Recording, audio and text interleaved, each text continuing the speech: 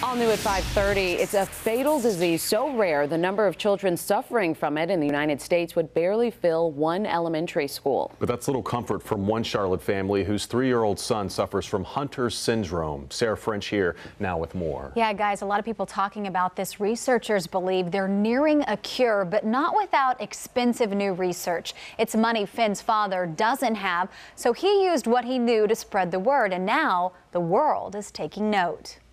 Finn, come here, bub. Catch Finn Muedder in his yard and you'd think he's just another three-year-old. Bouncy ball. Okay. But his parents know better. Finn has an extremely rare genetic disorder found mostly in boys. There's about 500 boys in the U.S. and uh, estimated 2,000 worldwide. It's called Hunter syndrome, and without a medical breakthrough, it will end Finn's life, most likely in his early teens. At times, it's hard not to be overwhelmed by that. Researchers believe they're close to a cure, but they lack the funding to know for sure. It's kind of feeling helpless. At first, Finn's father didn't know what to do. I'm not a doctor, I'm not a lawyer, but I, I know how to tell stories. So he decided to tell Finn's story.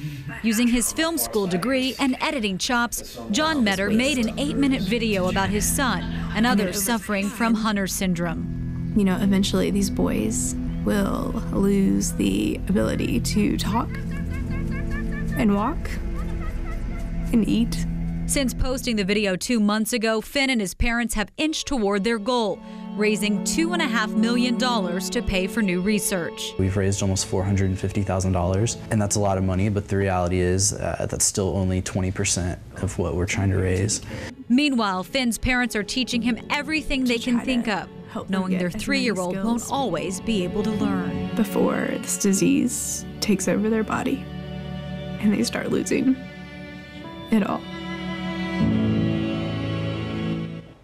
Finn and his family have established a GoFundMe page where people can contribute to curing Hunter syndrome once and for all. You can find that link to that page on our website as well as the entire video that Finn's father produced. Really hard to watch. You get emotional watching it. Yes. And only 2,000 boys worldwide. crazy? It's Yeah, it crazy. is. Thank you for that story. Thanks, guys. Uh-huh.